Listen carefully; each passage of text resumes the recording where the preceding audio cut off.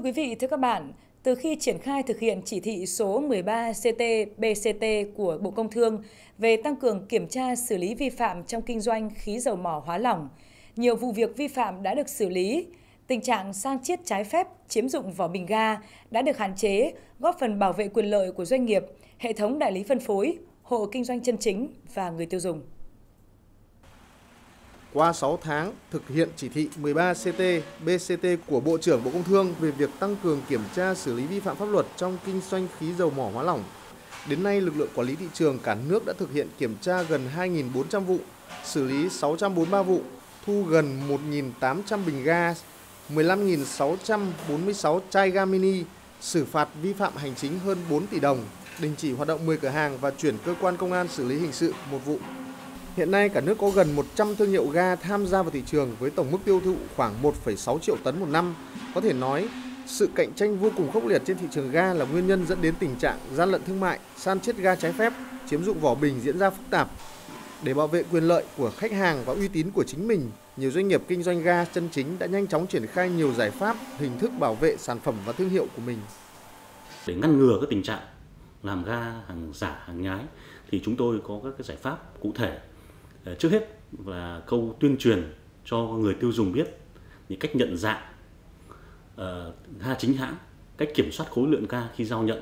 Thứ hai nữa là chúng tôi cũng có làm việc với cơ quan quản lý nhà nước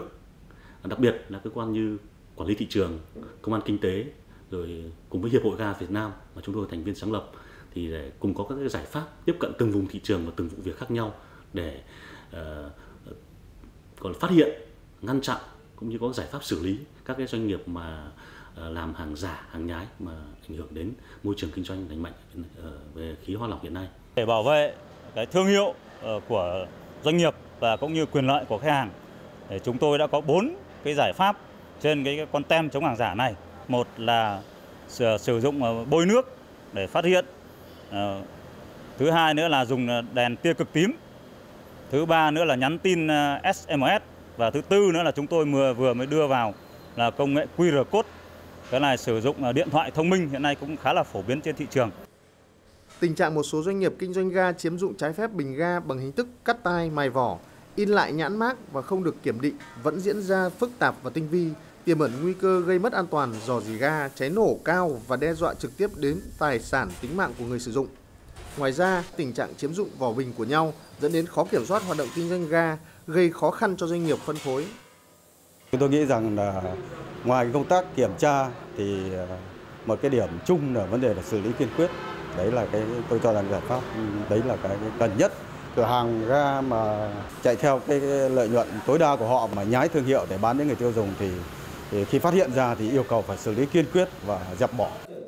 Để kiểm soát chặt chẽ hoạt động kinh doanh khí hóa lỏng, lãnh đạo Bộ Công Thương chỉ đạo các lực lượng quản lý thị trường và các đơn vị liên quan phải quán triệt thực hiện nghiêm túc chỉ đạo của Chính phủ, Thủ tướng Chính phủ, Ban chỉ đạo 389 quốc gia và Ban chỉ đạo 389 Bộ Công Thương tiếp tục thực hiện nghiêm túc chỉ thị 13 của Bộ Công Thương, ra soát phát hiện những bất cập trong cơ chế chính sách để kiến nghị với Chính phủ, với Bộ, ngành liên quan xem xét cho phù hợp với thực tiễn công tác chống buôn lậu, gian lận thương mại và hàng giả.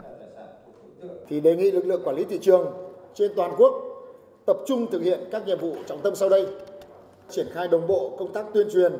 phổ biến hướng dẫn pháp luật, tổ chức cho các cái thương nhân ký cam kết không kinh doanh LPG giả kém chất lượng, xâm phạm quyền sở hữu trí tuệ, sang chiết LPG trái phép, tiếp tục nghiên cứu, tiếp thu ý kiến, phối hợp với các cơ quan liên quan để hoàn thiện nghị định về kinh doanh khí thì đề nghị các đồng chí tập hợp các ý kiến và đề nghị các đồng chí gửi bằng văn bản mà để ghi rõ, đề xuất càng cụ thể càng tốt những vấn đề mà các đồng chí thấy bất cập. Cùng với sự chỉ đạo quyết liệt của Chính phủ, Ban chỉ đạo 389 quốc gia, Ban chỉ đạo 389 Bộ Công Thương, sự phối hợp chặt chẽ giữa các lực lượng liên quan, hy vọng rằng thị trường ga sẽ có sự chuyển biến tích cực, góp phần đảm bảo quyền lợi cho doanh nghiệp, kinh doanh chân chính, người tiêu dùng và tạo lập một môi trường cạnh tranh lành mạnh.